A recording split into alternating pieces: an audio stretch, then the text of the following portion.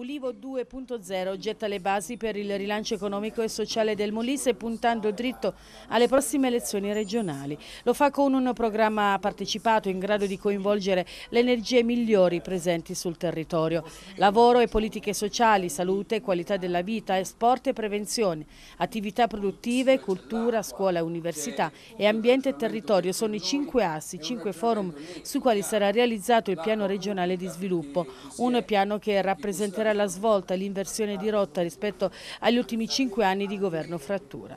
A Campobasso la conferenza stampa, l'ultima prima della pausa estiva, dei promotori del nuovo soggetto politico, tra i quali i parlamentari Ruta e Leva, che hanno parlato della necessità di restituire il futuro, la speranza ai cittadini del Molise. Un Molise che ha ricordato Leva, secondo un recente studio, rischia di scomparire da qui ai prossimi 20 anni. Serve una classe dirigente che non si consideri autosufficiente, ha precisato il parlamentare e noi faremo in modo che la condivisione di questo importante progetto per il Molise sia la più ampia possibile. Ruta ha illustrato le tappe del percorso intrapreso da Ulivo 2.0 che anche il suo indirizzo di posta elettronica ha mostrato in anteprima alla stampa.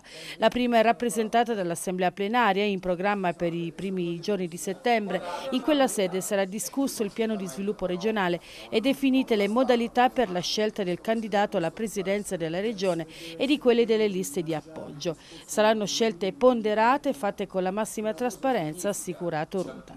Poi la risposta di Leva a una recente intervista del governatore che eh, annuncia l'intenzione di ricandidarsi e di recuperare i rapporti con l'Ulivo 2.0. Che cancella i piani operativi sanitari e siamo pronti a ragionare.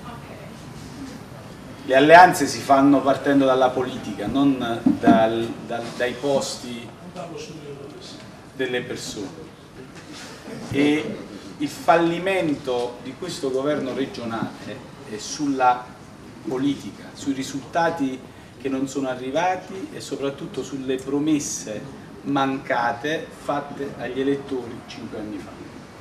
Questa è la risposta dell'onorevole Leva.